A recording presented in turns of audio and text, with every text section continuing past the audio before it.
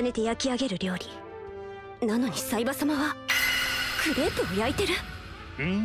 どうすれば何を求められているの？デザートでも作るのかしら？サポートの2人が困惑するのも無理はない。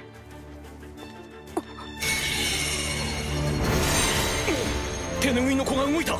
じゃがいもにチーズ。アッシェ・パルマンティエらしい材料だな。えっと確かこの辺に。おあったあった。え？なんでちりめんじゃこ？じゃこの塩の香りがいい感じだけど何ができるか全然わかんない。こんなことではまともな料理になるわけないわ。二人の考えていることがさっぱり理解できない。いいえ本当は気づいてるはずよ。思い出しなさい。ナキリエリナ極清量で触れたものを。あそこではめちゃくちゃな発想同士がぶつかり合うことで思いもしなかった答えが生まれる。その可能性があった。今二人のやっていることもきっと同じ。それぞれの主張エゴをぶつけ合うことで予定調和では成し得ない何かを作り出そうとしているんだわ。それがサイバ様が私たちに課した試し。完璧主義な私から見れば考えられない料理。いいわよ。分かったわよ。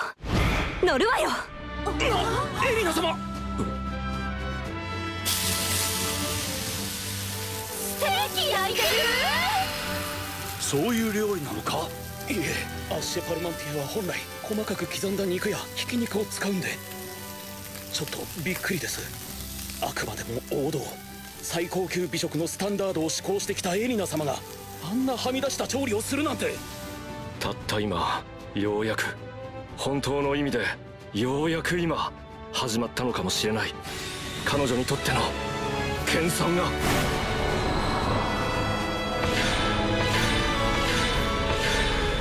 そこまで双方お皿を出すがよい。アッシェ・パルマンティ実食で。